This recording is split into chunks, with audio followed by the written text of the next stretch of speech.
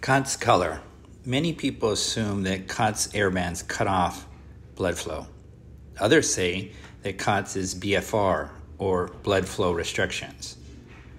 And others think that KAATSU is a type of occlusion training. None of these are true. Those statements are completely untrue. KAATSU airbands are specifically designed to allow arterial flow, that is, blood from the torso to your arms or legs. This continues unimpeded when you have your KAATSU bands on properly.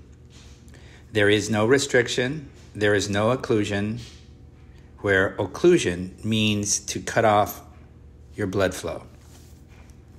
Occlusion comes when you use blood pressure cuffs or tourniquets on your arms or legs. Blood pressure cuffs and tourniquets are specifically designed to cut off or occlude blood flow to your arms and legs. But this is not true with KAATSU.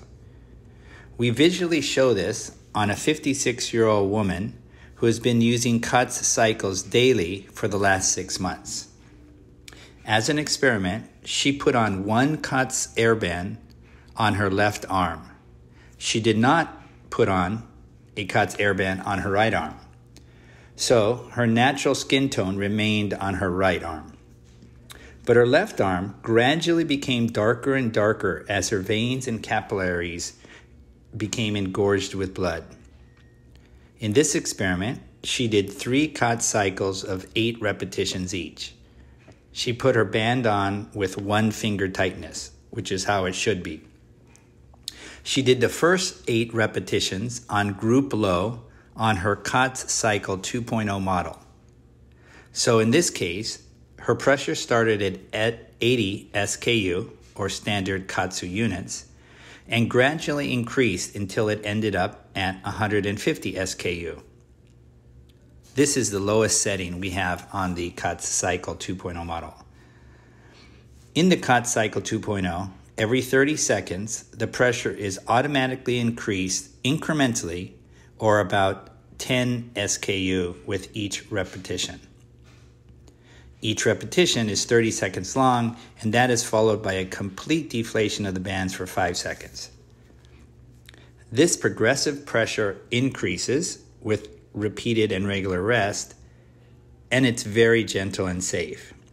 It allows your vascular tissue to gradually, slowly, naturally, and safely become more elastic. As your vascular tissue becomes more elastic in your arms and legs, as this woman sits there comfortably without doing any exercise and her KAATSU airbands on her arms, her arms are slowly becoming more engorged with blood. Therefore, her skin color also gradually becomes darker and darker. As she did her second and third set of KAATSU cycles at the group medium and group high pressures, her skin transformed evenly from white to pink to rosy pink to various shades of red and finally to a solid, beefy red color.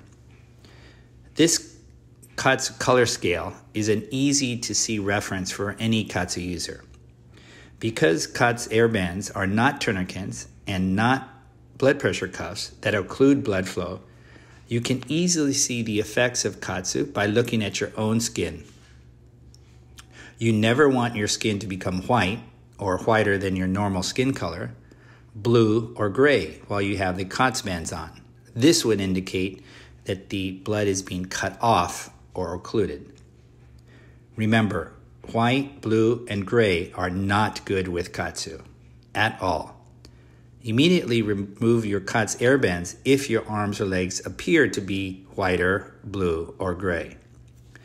But on the other hand, when your skin tone becomes pink, rosy, or various shades of red, this is precisely the visual clues that you want to see with KAATSU. Your veins may become distended. Distended means to slightly pop out. That is perfectly okay. Of course, you should not feel uncomfortable or discomforting in any way while using KAATSU. Over time, like this 56 year old woman who works as an esthetician, you will gradually see your skin tone become darker and darker during KAATSU as you use it longer and longer.